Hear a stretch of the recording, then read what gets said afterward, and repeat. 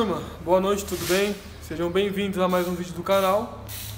E hoje, como mostrou o título do vídeo, a gente está aqui com um Peugeot 206 1.0 16 válvulas, ano 2003.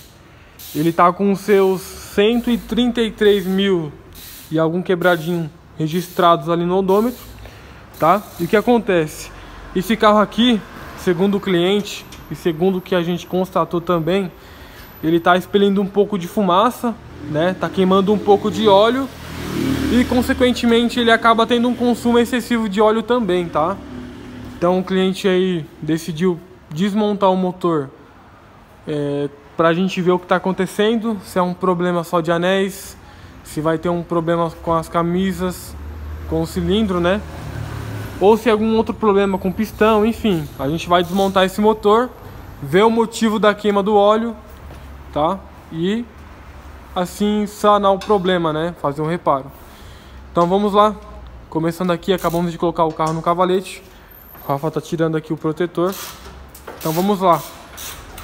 Começar a desmontar esse motor, tirar o óleo do motor, tirar o cárter e tirar o cabeçote, né? Então, bora lá.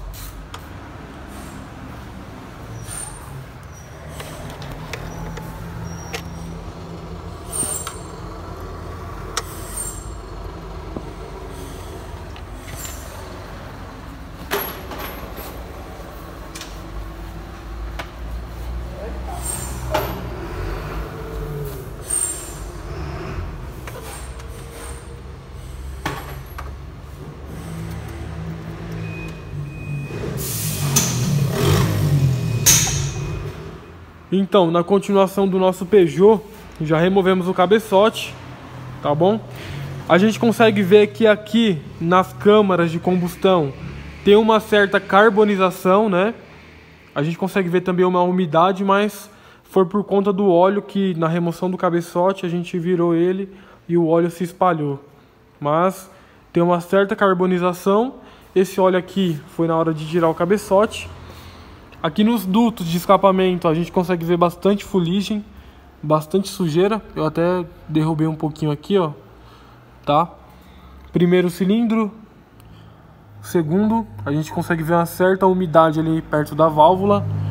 Agora no terceiro, tem uma umidade bem mais concentrada, tá? Dá pra ver nitidamente aí.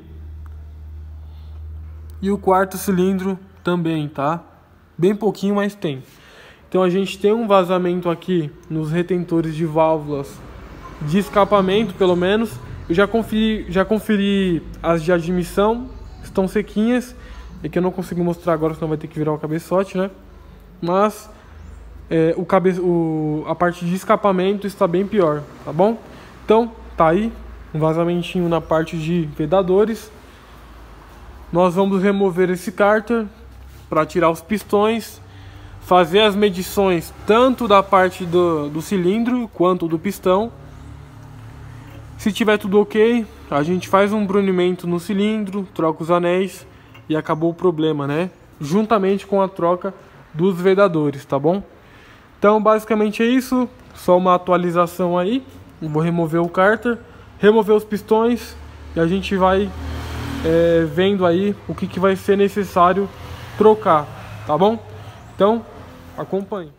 Então, turma, dando continuidade aqui no Peugeot, chegado o cabeçote, a gente limpou os pistões, cárter, coletor de escapamento, chegou as peças novas. Então, vamos começar pelo cabeçote. Vocês lembram aí como estava os dutos de escapamento? Olha agora. Tudo 100%, tudo limpo. A câmara de combustão limpa também, perfeita. Olha o estado dos pistões agora. Bem limpo, tá? Comparado ao que estava antes. Tá zero bala agora. Os quatro. Agora, olha o estado do coletor de escapamento. A gente deixou muito tempo limpando.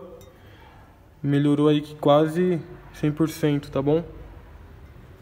Os dutos estavam bem entupidos, com bastante fuligem. E agora tá 100%, né? Então tá aqui.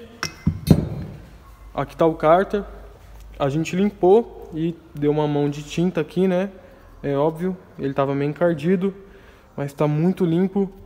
Por dentro, ele só tá meio é, esbranquiçado assim por conta do produto, tá? Mas a gente consegue ver lá no fundo como que tá e ali na lateral como que tava, tá? Ele tava com aquela base para borra bem forte. A gente deixou muito tempo no produto, limpou aí que quase uns 80%, né? Melhorou bastante. Mas a gente vai dar um tratinho aqui, vai tirar o restante de poeira que tá aqui para poder colocar, né? Então tá aqui. Tudo certinho. Nosso Peugeot tá aqui, né? No mesmo local. Já foi feito o brunimento nos cilindros. Agora sim. Tudo dentro da medida. A gente vai trocar só os anéis e as bronzinas de biela. E colocar um conjunto de juntas novo, né? Os parafusos tá aí, tudo limpo, tudo certinho. Alguns periféricos ali embaixo. A tampa é, de válvulas tá ali também, a gente acabou de limpar. Então é isso daí. Vamos dar seguimento aqui. O Peugeot teve bastante melhora, né? A questão das peças. Ah, foi trocado o retentor do comando de válvulas.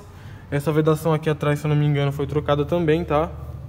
Então basicamente é isso, turma. Eu vou virar aqui para vocês poderem ver melhor. Deixa eu apoiar aqui. Olha aí. Cabeçote, tá? Tá ótimo. Foi trocado duas válvulas, se não me engano, essas duas de admissão, que estavam empenadas, né? E embora o carro não falhava, ele tinha pouca... Desculpem, ele tinha muita perda de potência, então acredito que o cliente vai sentir uma grande diferença, né? É o que a gente espera. Então, bora dar continuidade. Tudo bonitinho. Ah, e um detalhe, esse cabeçote foi recuperado, tá? Infelizmente, esse cabeçote estava com as medidas de plana, né? Esse Didas não dava para fazer mais plana, então teve que preencher o cabeçote inteiro com solda e refazer, né? Ele estava morto, digamos assim, não tinha mais medida para ficar fazendo plana. Mas enfim, voltou, agora está na medida praticamente standard. E é isso daí. Os pistões já mostrei, mas tá um brilho agora, né? Comparado ao que estava antes. Basicamente é isso, turma, tá? A gente preza por bastante é, que tudo fique limpo, fique 100% aí pro cliente ter o máximo de desempenho do carro, né?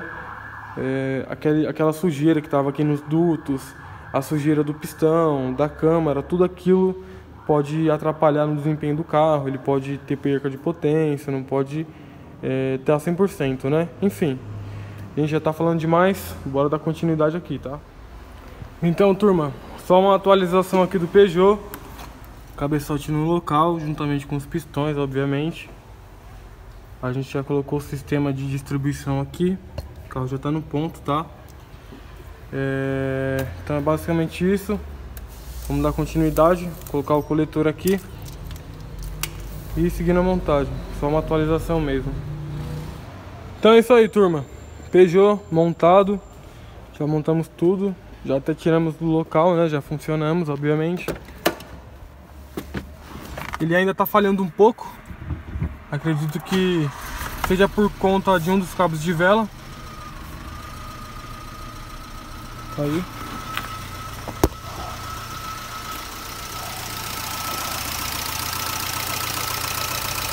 Tá falhando um pouquinho ainda. Mas é isso aí, já dei uma volta com ele. Ele tá forte em alguns momentos. Depois ele volta a ficar um pouquinho fraco. E a gente percebeu que o terceiro, o terceiro cilindro de vez em quando falha. Mas é por questão do cabo de vela que já é reintegrado na bobina, né? Nós vamos passar isso pro cliente. Vou conectar o scanner aí para mostrar alguns detalhes para vocês. Lavar esse motor e tá finalizado, tá? A gente vai dar sequência aqui ainda. Então é isso daí, turma. Peugeotzinho. Nós já trocamos a bobina de ignição. Agora sim, tá 100%. Já voltou do lava rápido. Demos um taletinho no motor, né? Lavou por fora, por dentro. Zero bala agora. Só o cliente rodar e aproveitar o carro, né? Agora sim ele tá bem mais forte, bem mais potente. Agora vai dar para aproveitar 100% do Peugeot, né? Então, basicamente é isso daí. Peugeotzinho finalizado.